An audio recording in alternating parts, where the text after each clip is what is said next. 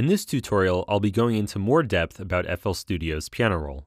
I touched on this earlier, but that was only scratching the surface of what this can do. You've seen how automation can be edited within the piano roll. Other parameters can be edited here as well, like panning and fine pitch, in addition to velocity, which is also volume for most synthesizers. Left click and drag along here to change these values, or right click across multiple values to create a smooth line.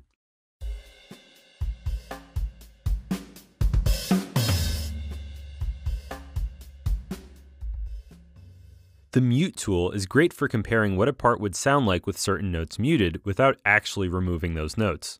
Hit T to switch to the mute tool, then click on any notes that you want to mute. Click again to unmute them.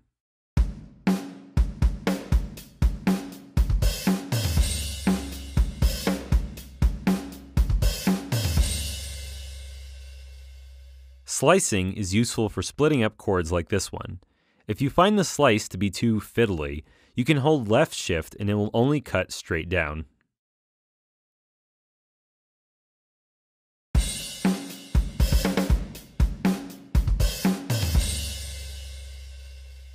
There are a couple views in the piano roll which can be changed at any time. Pressing M cycles between them, or you can click up here. Which mode you use is a matter of preference and which is more aesthetically pleasing. But in the named key mode, you can see more information about each note and also change the vertical zoom level. Here are a few handy piano roll shortcuts. Control and C and Control and V will copy and paste notes, respectively. E switches to the Select tool, and P back to the Pencil tool.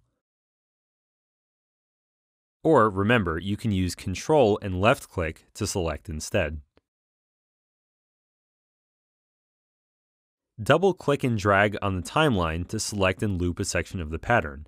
You can also right click in the timeline. You can then use Ctrl and B to duplicate the selected section.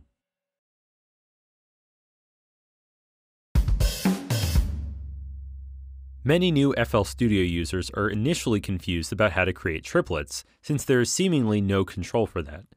To do this, select the one-third beat option either at the main snap dropdown or the snap dropdown for the piano roll specifically. This divides each beat into thirds.